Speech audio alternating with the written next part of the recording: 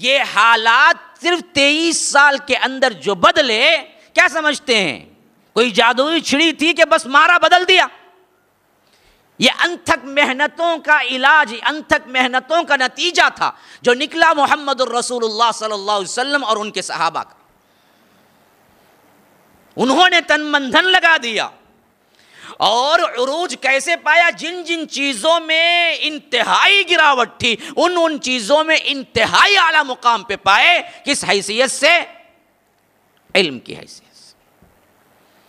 इल्म को पकड़ा। इसी वजह से पहले वही के अल्फाज जो आए, पढ़। आज उसी बीमारी की तरफ़ मेरा इशारा है। इल्म से दूरी। हमारे तमाम मसाइल का वाहिद हल इल्म। जानकारी हासिल करो। इल्म का मतलब है जानना। ना दुनिया का, ना दीन का। कोई इल्म नहीं है हमारे पास। सत्रह सौ से जो गिरावट शुरू हुई, इल्म में कमज़ोर होते गए हती कि जो किताबें हमने अपने तौर पर बनाए, अपने लाइब्रेरियाँ कायम की, वही किताबों को पढ़ के आज यूरोप तीन साल से हमारे ऊपर क्या है, राज कर रहा है, लेकिन हम क्या है, हैरत से देख रहे हैं कि इन्होंने बनाया, कुछ नहीं बनाया, सब मुसलमानों ने बनाया। पीछे जाके देखो। आपको मैं पूछूँ, फखरुद्दीन, राज़ी का क्या इम्तियाज़ है साइंस में? कौन बोलेगा? क्या जी, राज़ी इजार गिजार क्या क्या बोलते ना? कौन जी नाम, वो पूछी। मालूम है? हा? हमको मालूम है। इमाम फखरुद्दीन, राज़ी कौन है? साइंस के अंदर उनके कौन कौन से ईजादात हैं? इमाम इब्न तैमिया कौन है? इमाम इब्नुल क़य्यिम कौन है? इसी तरह क्या है? बड़े बड़े लोग बड़े बड़े उलमा जो आलिम भी थे वक्त के और उस वक्त के ूम के सबसे बड़े क्या हैं? साइंटिस्ट भी थे। फलकियात के माहिर, अलजीबरा कौन किया? अलजबर वल मुकाबला। अरबी लफ्ज़ है अलजीबरा, जो बाद में तब्दील हो गया। हाँ तो ये अरब से आने वाला फ़न था। और अरब ने सिखाया, सिफर किसका लफ्ज़ है? अरबी लफ्ज़ है। ज़ीरो अगर मैक्स में ना आए तो मैक्स का कोई मसला हल नहीं। और ज़ीरो को सबसे पहले बताने वाला अरबी है जो सिफर।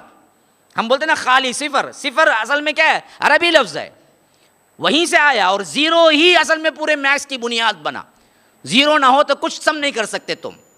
ज़ीरो से ही एक है। क्या कर लोगे एक रख के? बाजू ज़ीरो लगाए तो दस होगा ना जी। और एक ज़ीरो लगाए तो सौ होगा ना। और एक ज़ीरो लगाए तो क्या है? हज़ार होगा ना। ज़ीरो ही तो असल वैल्यू बढ़ा रहा। हाँ?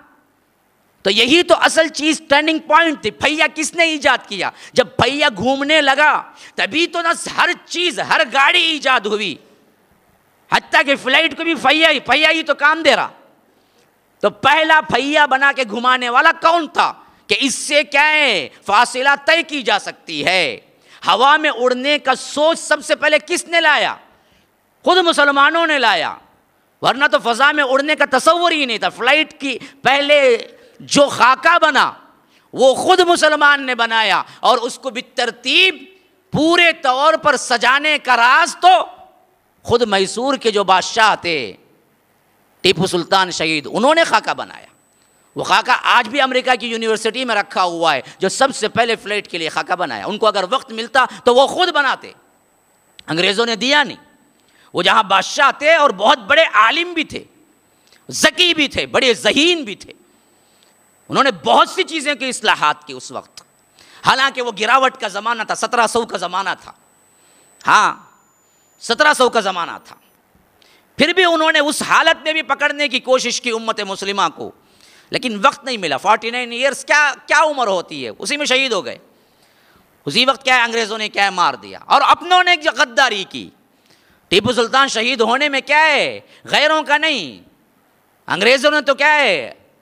हिम्मत हार गए कि हमारे हाथ से तो नहीं होगा। उनकी टेक्निक ही ऐसी थी। मीर जाफ़र और मीर सादिक, इनका अपना था वज़ीर, जो पीछे का रास्ता बताया कि किले में किस तरफ़ से तुम आ सकते हो और पीछे से आकर क्या है? सीने पे उन्होंने क्या है कोई तीर खा के शहीद नहीं हुए? गोलियाँ खाई तो पीठ पे खाई। वो बहादुर इंसान था।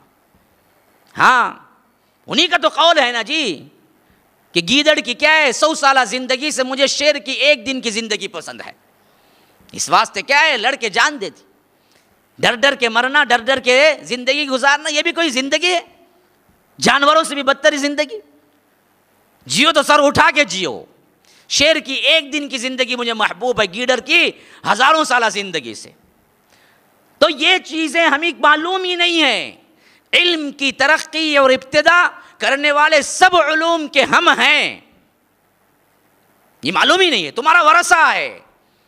तुम्हारा ही वरसा है। तुमने छोड़ दिया तो उन्होंने गजब किया। वरना तो ये सब कुछ इल्म की राह में।